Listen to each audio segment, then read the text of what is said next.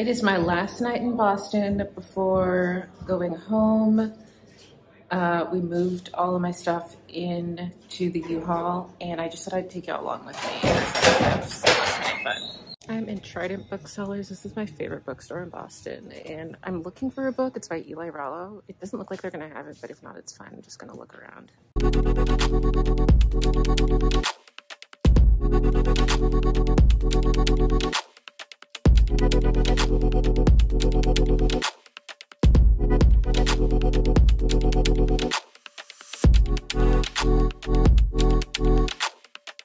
Hey guys, um, I am back in my hotel room.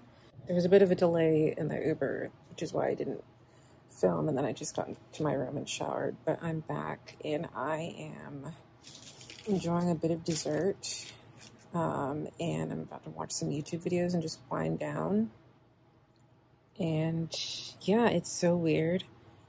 Um, I am moving back home to North Carolina to live where my parents live um, it's kind of a long story, but basically, um, yeah, it feels so strange because I've lived in Boston for two years, um, and a little over two years. It was officially two years in September, and I'm headed home, and I feel like it's a chapter closing, but another one opening, and I'm feeling like a little emotional, but I'm also like excited. It's like a weird mixture of feelings. But yeah, it's weird. I'm sitting in my hotel room, and tomorrow I'll be back in North Carolina after two flights. And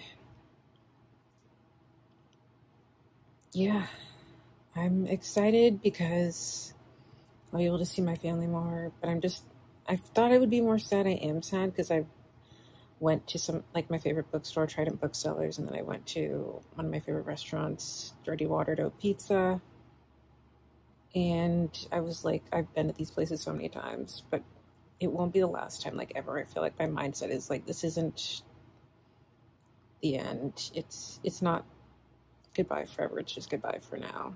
So that's sort of the mindset I'm having as I leave. Um, I still love Boston. I just think it's um, a good decision for me to go back home now, or at least for now.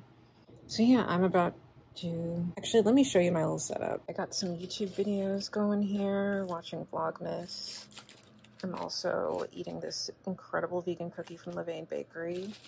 It is huge. Their cookies are gigantic, but they're um, they're delicious. So yeah, I'm just gonna wind down. I'm probably just gonna watch a few more videos.